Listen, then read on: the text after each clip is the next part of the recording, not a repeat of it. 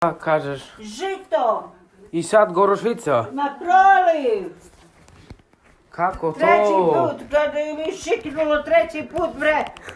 Idi bre, nemoj da me širikaš. A ne, a kako to? Kako, pa nije A možda nije, možda nije više lepo. Zaleđeno bilo, stojalo duže. Nije više lepo. Da. I sad proliv. Zatvorio prozor. Jesam. A nisam. Zatvori prozor. I, i sad, i, E, se- te vidiš da su ladili. i kad je šiknulo, O, tri put sam već išla, bre, čuti, molim te ka Boga. muka da te uvati. Zatvori prozor! Ne idi za mnom.